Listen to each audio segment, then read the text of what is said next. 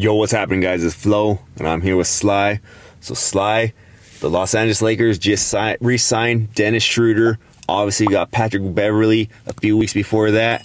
Do you think these two signings are a sign that Russell Westbrook is down to his last days in LA, or do you think we're still going to keep him for a while?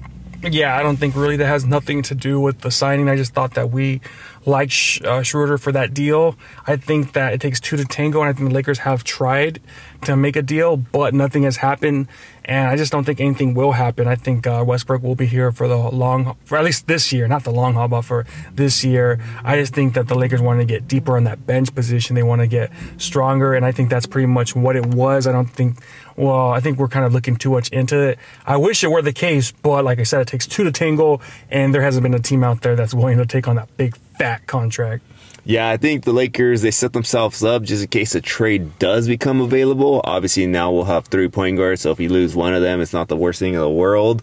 But is there just going to be a team out there willing to trade for Westbrook? I don't see it happening this season. I think he's going to play out his final year, like you said, and then uh, coming next year, obviously uh, Schröder is going to be able to get a new contract, but it's still not going to be that much. He's already going to be with the Lakers, and um, I think he'll be established. And it just seems like he really likes um, Los Angeles because he came back for what like 2.6 million. Mm-hmm. So that's a good sign. Um, but it's going to be interesting this season with three point guards. Where do you play all these guys, especially if you can't make that trade for Westbrook? Because now it's all about where do you put these pieces together.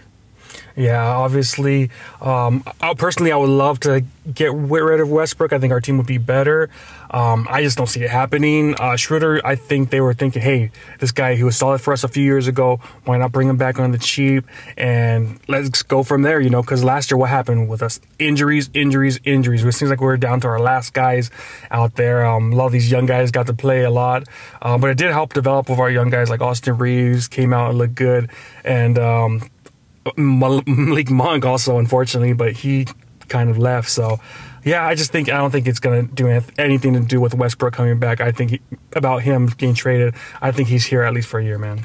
All right. Well, you guys let us know in the comments what you guys think about this Dennis Schröder signing. Does it affect Russell Westbrook? Like, comment, subscribe, hit that notification bell. See y'all next time. Peace. Peace.